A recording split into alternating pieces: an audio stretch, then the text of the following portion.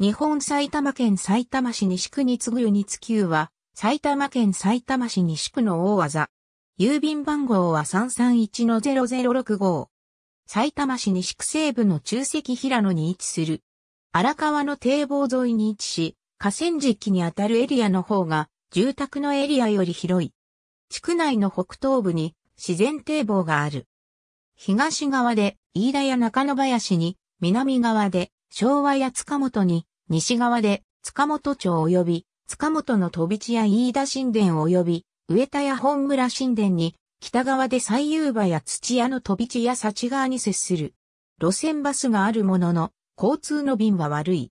現在、埼玉県警察機動センターがある場所は、埼玉県警運転免許センターであったが、鴻巣市に移転された。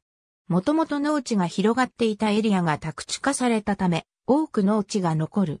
地内の荒川堤防では、埼玉地区堤事業と称される堤防のかさ上げ工事が実施されている。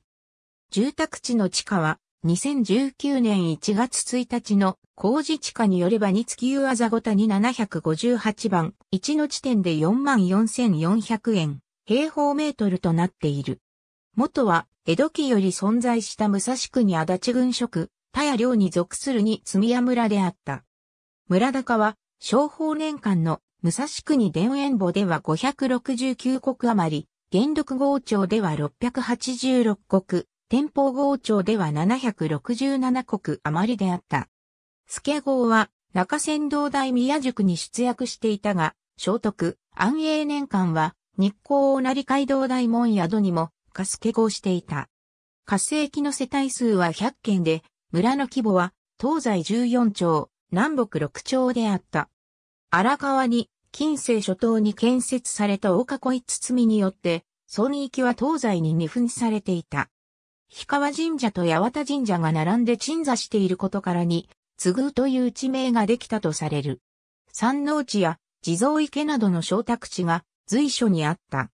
かつて地区内の荒川河川敷に1934年5月に指定された国指定天然記念物の馬宮村桜掃除聖地があったが、戦中戦後の食料増産に伴う開墾により消滅している。2017年9月1日時点の世帯数と人口は以下の通りである。